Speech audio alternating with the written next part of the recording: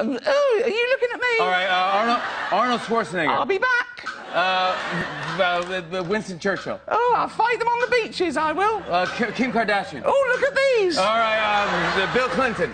Uh, oh, so go and get that dress dry cleaned. All right, all right, Christopher Walken. Uh, oh, I shoved a clock up my arse. All right, Jack Nicholson.